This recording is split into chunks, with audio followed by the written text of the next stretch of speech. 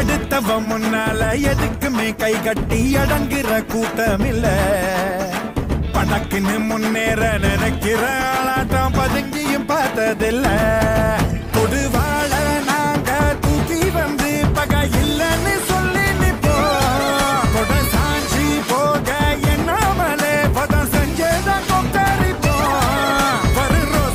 காட்டாம